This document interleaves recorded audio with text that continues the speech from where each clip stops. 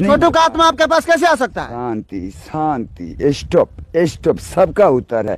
मैं ईएस का काम करता हूँ। नो को हम कुछ भी नहीं जानते। छोटू का आत्मा कैसे आ सकता है आपके अंदर? शांति हम बता दे। छोटू हो या कोई भी हो जो भी मृत्यु होता है और उम्र से पहले उसका मृत्यु हुआ तो उसका आत्मा भटकता है। डोंट टच तो भटकता है ना तो आपके पास कैसे आ सकता है? गिधेरा मैं तेगालवा बाबा हूँ। मेरे पास वो अबे करेगा। वो हवा है। वो कोई भी जा सकता है। तो आपको आप कह रहे हैं कि आरती का भी मन आपके ऊपर आया है?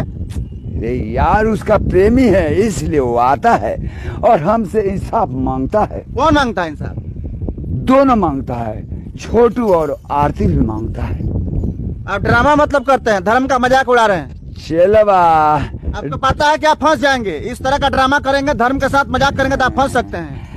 फंसना फसाना तेगालवा बाबा के हाथ में don't touch me no permission police, को बुलाए हम। पुलिस पुलिस तो गोर लगता है। Don't touch me no permission mobile दीजिए मोबाइल दीजिए थाना में फ़ोन करते हैं। मोबाइल दीजिए। ये घर करो डोंट टच ये ये ये, मज़ाक बना कर रखे। हैं दीजिए मोबाइल दीजिए तो। मोबाइल दीजिए थाना को फ़ोन करते हैं। खेल में खतरा ना हो तो खेल कैसा खेलने का अभी हम पुलिस को बुला रहे हैं। वेलकम करो वेलकम करो। अभी आप आप जेल जाइएगा अभी आप जेल जाइएगा। आज जेल होगा कल बेल होगा परसों से हुए खेल होगा। Don't touch me no permission मैं डरने वाला भक्त नहीं हूँ। मैं माता पिता को सेवा करने वाला सेवा हूँ और सारे संसार से मैं जुड़ा हुआ हूँ। जी हुई अभी स्वर्गवास छोटू का आत्मा आपके पास कैसे आ सकता है?